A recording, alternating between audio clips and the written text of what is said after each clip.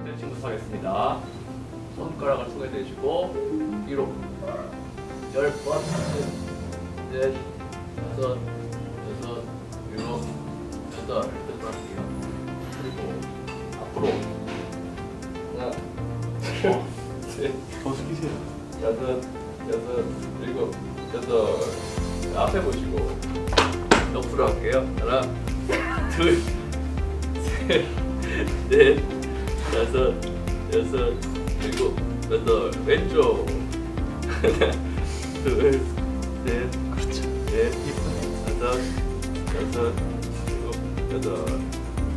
먼저 앞으로 팔을 앞으로 쭉 펴시고 자, 최대한 쭉 앞으로 빼세요. 하나, 둘, 셋, 넷, 다섯, 여섯, 일곱, 여덟.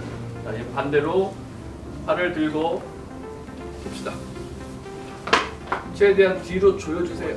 하나, 둘, 셋, 넷, 다섯, 여섯, 일곱, 여덟. 자, 주먹 쥐시고 살짝 잡아서 아래로 굽히면서 쭉 내리세요. 하나, 둘, 셋, 넷, 다섯, 여섯, 일곱, 여덟.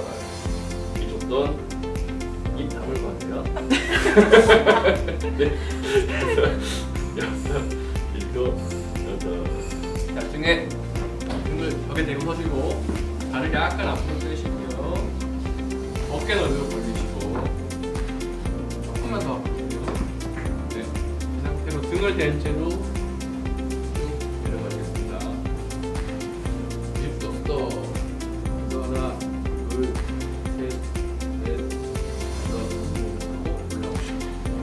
발목 운동을 해보겠습니다.